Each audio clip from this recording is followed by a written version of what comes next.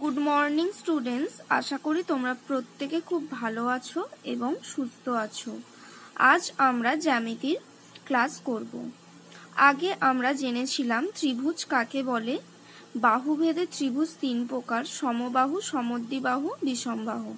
আমরা সমবাহু ত্রিভুজ সম্পর্কে জেনেছিলাম। আজ আমরা পরের যে দুটি ত্রিভুজ, সমদ্বিবাহু আর বিষমবাহু ত্রিভুজ সম্পর্কে জানব।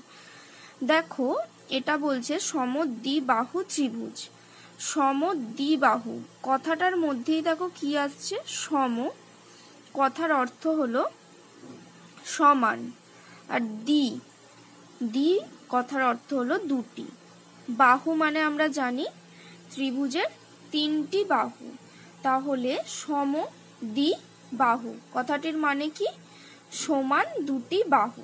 এখান থেকেই আমরা এই ত্রিভুজটার সংজ্ঞা পেয়ে যাচ্ছি যে যে ত্রিভুজের দুটি বাহুর দৈর্ঘ্য পরস্পর সমান, তাকে সমদ্বি বাহু ত্রিভুজ বলে। তাহলে কি জানলাম? যে ত্রিভুজের দুটি বাহুর দৈর্ঘ্য পরস্পর সমান। দেখো, এখানে আমরা একটা ত্রিভুজ দেখতে পাচ্ছি এ বি সি একটি সমদ্বিবাহু ত্রিভুজ। এর মধ্যে তিনটি বাহু আমরা ত্রিভুজের জানি এ বি বিসি আর এসি তার মধ্যেই এ বি আর এসি বাহু হলো সমান। এই দুটি বাহুর দৈর্ঘ্য এক। বাহুর দৈর্ঘ্য হলো চার সেমি আর এই বাহুটার দৈর্ঘ্য একটু বেশি।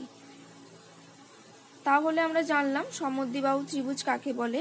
এরপর আমরা জানব বিষমবাহু ত্রিভুজ কাকে বলে। দেখো, এই কথাটার মধ্যে কি আছে? বিষম। কথার অর্থ হলো অসমান। তাহলে যে ত্রিভুজের তিনটি বাহুর দৈর্ঘ্য পরস্পর অসমান, যে ত্রিভুজের এই যে তিনটি বাহু, সেই তিনটি বাহুর দৈর্ঘ্যই পরস্পর অসমান। তাকে কি বলে? তাকে বলে বিষম বাহু ত্রিভুজ। দেখো, এটা একটা বিষম বাহু ত্রিভুজ, এ, বি, সি। এর যেই তিনটি বাহু আছে, এ, বি বিসি আর এসি এই তিনটি বাহুই কি পরস্পর অসমান? কোনোটার মান, এই যে আমরা জানি একটি দৈ রেখার দৈর্ঘ্য থাকে, এই যে দৈর্ঘ্যগুলো এবির দৈর্ঘ্য অস, অন্য বিসির দৈর্ঘ্য অন্য এসির দৈর্ঘ্য অন্য। অর্থাৎ এই তিনটি বাহুর দৈর্ঘ্য এক নয়, আলাদা আলাদা। তাহলে বিষমবাহু ত্রিভুজ আমরা কি বলব? যে ত্রিভুজের তিনটি বাহু পরস্পর অসমান তাকে বিষমবাহু ত্রিভুজ বলে।